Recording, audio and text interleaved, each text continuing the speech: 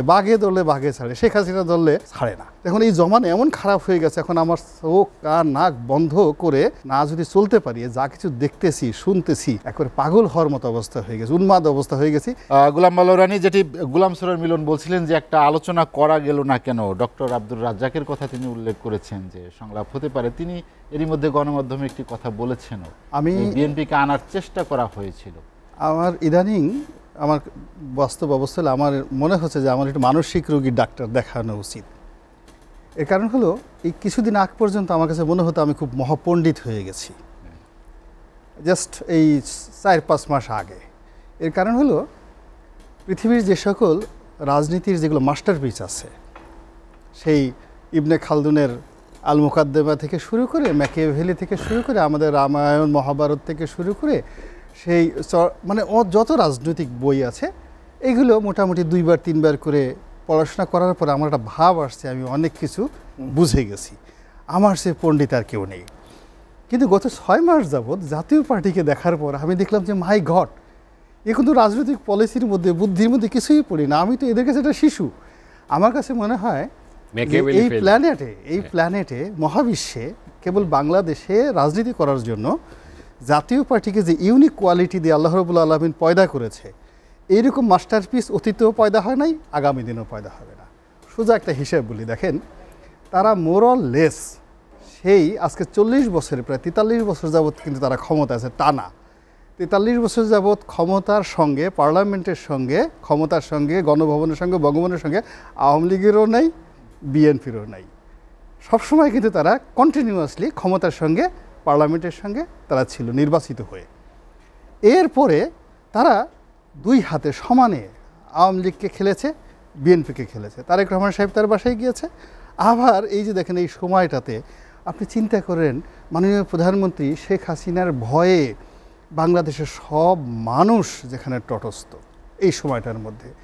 আমাদের সেই সুরঞ্জিত দা বলে গেছেন বিখ্যাত কথা যে বাঘে দলে বাঘে ছাড়ে, শেখ হাসিনা ধরলে ছাড়ে না।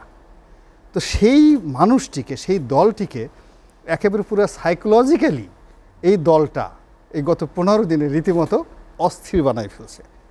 এবং একেবারে শেষ দিন পর্যন্ত বিএনপির যে বেকুব মাখড়া কতগুলো লোক আছিল, তারা সতেরো তারিখ বিকেলবেলা পর্যন্ত বিশ্বাস করেছে যে জাতীয় পার্টি উইড্র করে ফেলবে এবং তারা বগল বাজাবে। কিন্তু দেখা গেল যে ছাব্বিশটা সিট তো শুধু নেয়ই নাই। জনাব জিএম কাদের, যেটা এরশাদও পারে নাই। এরশাদ তো জিএম কাদের কাছে শিশু।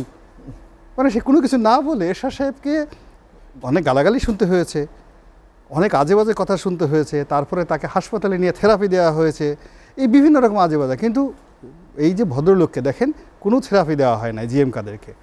কোনো রকম কোনো এজেন্সি তার সাথে খারাপ আচরণ করেছে, পুলিশ কার সাথে খারাপ ব্যবহার করেছে, কোনো রকম বদনাম নাই। এবং সে এই কয়দিন মুখ বন্ধ করেছিল যে আমি কথা বলব না। এবং আমরা হুজুর কথা বলবেন না না জানি যখন কথা বলবেন বাংলাদেশ ফাটাই দিবে।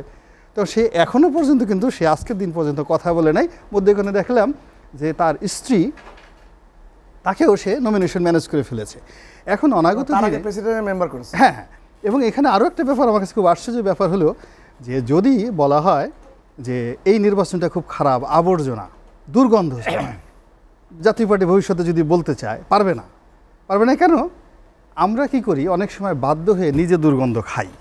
দেন আমার পিছনে পিস্তল থেকে বলল যে, তোমাকে ময়লা, মুরগির ময়লা খেতে হবে, ছাগলের ময়লা খেতে হবে। আমি হয়তো প্রাণের ভয়ে খেলাম, কিন্তু আমি কখনই আমার স্ত্রী বা সন্তানকে এটা খাওয়াতে চাইব না। স্ত্রী এবং সন্তানকে তখনই যেটা খাওয়াই যেটা ঘন মাখন, দুধ, সেইটা হয়। তাহলে এই যে নির্বাচনটা, বাইরে যতই বলুক না কেন, জনাব G M Quader and his family এটাকে একটা মাখন হিসেবে ট্রিট করেছে। না তার স্ত্রীকে কেন এটা দেবে? সে যদি এটাকে রিগ্রেট করতো তার ফ্যামিলিকে তো এটা দিত না, সে তার থেকে দূরে রাখতো। যেহেতু সে সপরিবারে এটাকে গ্রহণ করেছে so it's a unique Jatiya party is unique party এবং আমার কাছে মনে হয়, জাতীয় পার্টিকে আবার মানে সায়স্তা করার জন্য, আল্লাহ রবুল্লা আলমী শেখ হাসিনাকে আলাদা কতগুলো পাওয়ার দিয়ে দিছে। যদি শেখ হাসিনা না হইতো, এদের যন্ত্রণা, এদের বংশ বিস্তারে এই বাংলাদেশ তছনছ হয়ে যেত। এই যে শেখ হাসিনা মনে করেন যে, সকাল একবার টানে, পিছনে একবার তাড়ায়। একবার টানে, একবার তাড়ায়। একবার হাসায়, একবার কাদায়। একবার রসুন এরশাদকে সামনে আনে, একবার জিএম কাদের আবার গুতে গুতে লাগে, আবার বিদেশিকে লাগাই দেয়, ওই লাগাই দেয়। ইটস ইউনিক পলিটিক্স এবং এইগুলো দেখে থেকে না, আমার কাছে না মনে হয় যে আমি এতকাল বসে যা কিছু পড়লাম, তো এই আওয়ামী লীগের যে বর্তমান রাজনীতি আর এই জাতীয় পার্টির যে রাজনীতি এবং এই দুটো এসে আবার সতেরো তারিখের পরে আম দুধের মতো এমনভাবে মিশে গেল আপনি এখন তো দেখেন সেই আশ্চর্য হয়ে গেছে। কোনটা জাতীয় পার্টি? জাতীয় পার্টির একজন সিনিয়র নেতা যে আমাদের যখন, আমরা যখন ফিডার খাই, তখন সে মিনিস্টার। নাও, সে বুঝতে পারতেছে না যে কেন এটা প্রধানমন্ত্রী ওখানে জাতীয় পার্টি ইন্ডিকেশন করে দিল। তা বুঝছেন যে ম্যাকিভ্যালি যে পলিটিক্স হচ্ছে, সেই ম্যাকিভ্যালিকে যদি এখন এই বাংলাদেশে এসে ওয়াইদুল কাদের সাহেবের সাথে মাত্র চব্বিশ ঘণ্টা ঘুরতে দেওয়া হতো পাগল হয়ে যেত। হি বিকাম ম্যাড তো সেই অবস্থাতে আমার মানে আমার এখন মনে হয় যে সব কিছু অতীতে যা কিছু পড়েছি, এগুলো দেখে আমার মনে হচ্ছে যে আমার অসিরেই যদি সিগমন ফ্রয়েড থাকতেন, আমি অনেক এখন দুঃস্বপ্ন দেখি আজে বাজে স্বপ্ন দেখি, এগুলো আমি এখানে বলতে পারব না। এখন এই মিস্টার ফ্রয়েড যদি জীবিত থাকতেন, আমি তার কাছে গিয়ে ব্যাখ্যা করতাম যে আমি হঠাৎ করে দেখি আমার জুতাটা চুরি হয়ে গেছে। হঠাৎ করে, কী আশ্চর্য ব্যাপার। আমার জুতা, আমি জুতা খুঁজতে খুঁজতে হয়রান হয়ে গেছি। যে আমি এখন যে জুতা আমার খুব প্রিয় একটা জুতা। আজকে পাঁচ বছর যাবৎ কন্টিনিউয়াস পড়তেছি পড়তেছি। পাঁচ বছরের একটা প্রিয় জুতা হঠাৎ করে চুরি হয়ে গেছে, আমি স্বপ্নে দেখতেছি, এটার কী ব্যাখ্যা? তো আমি এটা এত হয়রান হয়ে গেছি, আমার কাছে মনে হয় এক বছর যাব যদি কেউ আমার পানিতে চুবাতো আমার স্বপ্নের মধ্যে আমি যে কষ্ট পেয়েছি, আমি এত কষ্ট পেতাম না। এই বর্তমান জমানা এত খারাপ, ওই যে পঙ্কজ দাসের গানের মতো, যে নেকাব দিয়েছিল নিকলো না বিকাপ হ্যাঁ জামানা খারাপ হ্যাঁ। এখন এই জমানা এমন খারাপ হয়ে গেছে, এখন আমার চোখ কান নাক বন্ধ করে না যদি চলতে পারি, যা কিছু দেখতেছি, শুনতেছি, একবারে পাগল হওয়ার মতো অবস্থা হয়ে গেছে, উন্মাদ অবস্থা হয়ে গেছি। এখন পর্যন্ত এখানে আসছি, এই দেখেন আজকে গলায় এটা বেঁধে আসছি। আজকে আপনি আপনি কোনো অনুষ্ঠানে এরকম আসছি? এই যে গলা ব্যথা শুরু হয়ে গেছে। আগামীতে যে যখন ডাকবেন, তখন কীভাবে স্ট্রাসের করে আসব না, হুইল চেয়ারে করে আসব আই ডো নট নো পুরো ইমব্যালেন্সড হয়ে গেছি। এই রাজনীতি বাংলাদেশের রাজনৈতিক এই পরিস্থিতি আসলে কোনো এখানে এখানে নিয়ে এটা নিয়ে ঝুঁকি দিই আমি বুঝি না। আমার আমার দাদা সুভাষ সিংহরা সে রবীন্দ্রনাথ নিয়ে আছে।